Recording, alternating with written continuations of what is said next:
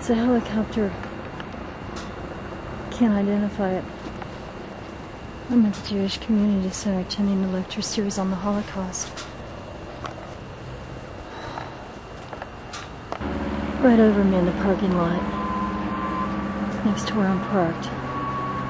Obviously there's a global positioning system on my vehicle.